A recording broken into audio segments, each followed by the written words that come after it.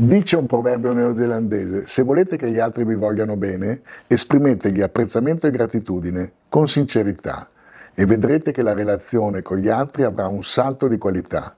Naturalmente bisogna evitare toni melensi che facciano pensare all'adulazione o toni sdolcinati che facciano pensare al corteggiamento. La parlata sia semplicemente franca, sincera, coerente tra verbale, non verbale e paraverbale.